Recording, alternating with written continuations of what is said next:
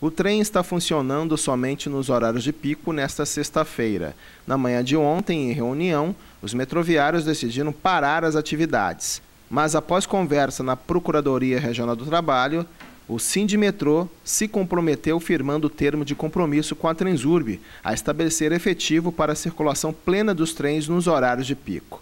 Mesmo com acordo, as estações que iriam abrir às 5 e meia da manhã só foram colocadas em funcionamento às 7 e meia, devido às medidas de segurança. O horário de funcionamento nesta manhã ocorreu de 7 e meia da manhã até às 10 horas e as estações irão abrir das 5 e meia da tarde até as 8 horas da noite. A paralisação dos metroviários é em virtude do Dia de Mobilização Nacional em protesto contra a PEC 55, que tramita no Senado Federal. Segundo os sindicalistas, o projeto de lei reforma a Previdência e da legislação trabalhista. O protesto também é contra o pacote de medidas do governo Sartori, que encaminhou à Assembleia Legislativa.